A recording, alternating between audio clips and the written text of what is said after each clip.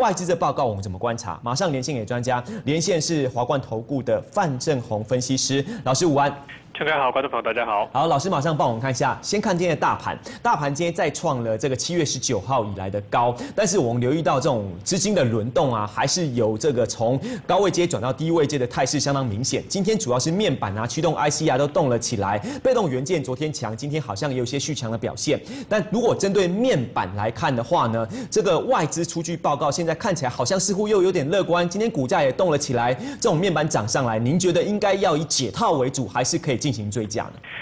好，那我们先先看大盘好了哈，因为大盘今天是回到一万七千八百点哦。那其实大家印象中，其实前两周我跟大家提到说，周线呢大概有两周所谓的安所谓的安全期哈，因为主要就是因为目前周线扣底位置在这个八月二十四号，那等于说大约在一个礼拜之后会扣到一万七千五百点这一这一带，就是九月份的头部了哈，那时候的头部。那但是因为目前哈。因为指数已经涨超过了一万七千五百点了，所以等于说，就算过一个礼拜之后。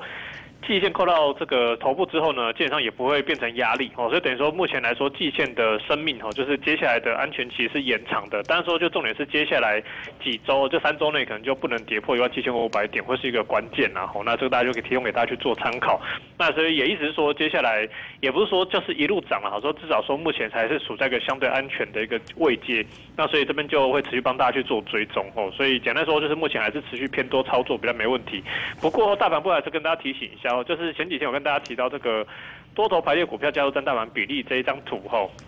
我提到一个重点，就是说，哎，其实最近指数是持续的创新高，对不对？哦，但是呢，哦，这个短线多头加速是没办法跟着指数一起往上拉。你会发现说，其实那个多头多头加速最高点的，就是大概是来到五十八 percent 的时候，大概是在十一月初的时候。哎，可是指数到现在，其实从那时候你到现在已经涨了八百点哦。可是这个多头加速比例其实并没有持续创高，反而有微幅的一个往下滑。其实这个现象其实容易造成说，哎，这就是会看到说，像今天这个状况哦，蛮多的强势股可能早盘开高走高之后，蛮蛮容蛮容易遇到卖压的，或者说前一天涨停的个股，今天会见到一个比较重的卖压。哦，那就是变成短线呢。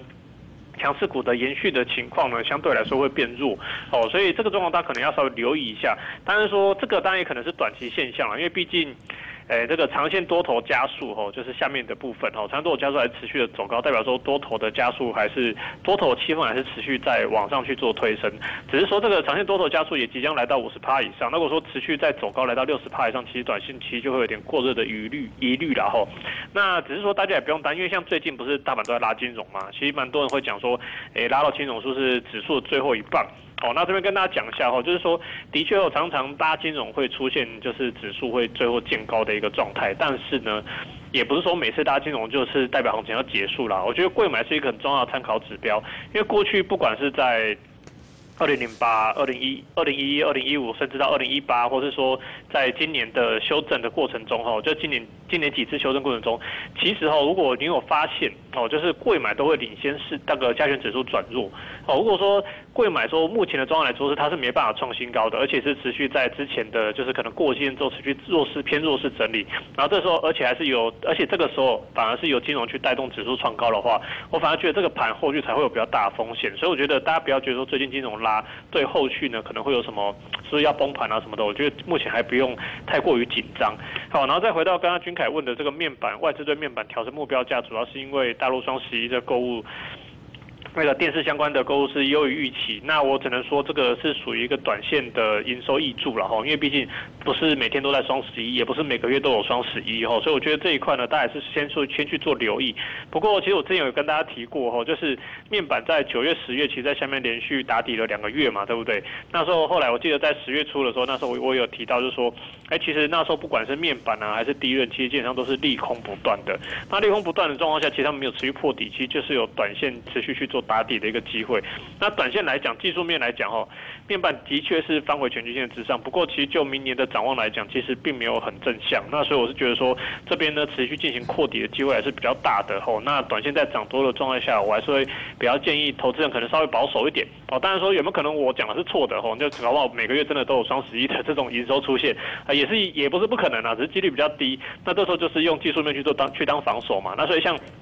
表达群创啊，或是一些相关的 TDDI 的这个驱动 IC 吼，他们今天都有大都有那个出量而且上涨嘛，那你就以今天的低点哦当成一个你的部位的一个防守点。当然，假设你真的你很看好这个面板或者 TTDI 相关，你要去做追加，那你就用今天的低点去做防守。只是我个人还是比较偏保守的看待了。那今天的贵买哦，今天比大盘强势很多哦。那这个还是要看一下内容嘛。其实大家有注意到，除了资金是转往面板啊、驱动 IC 这一类低基期的。就是应该说股价比较弱势的这个低基期的个股去做强弹的状态之外其实最近还有一个族群是陆续有在转强，那就是生技类股了哈。比如说像是一七九五的美食哈，是连续两天的涨停哦。那合一哦今天也有大涨。那在 OTC 全值里面，合一是全值嘛？那另外就是这个电子纸的电子标签的和这个八点六九的元泰哦。那元泰今天也是因为昨天法说会之后公布利多，然后今天也是开盘之后快就拉到涨停哦。那另外就是跟合一的母子公司的这个中天哦，那还有高价的普瑞，那个高传输相关的，所以其实。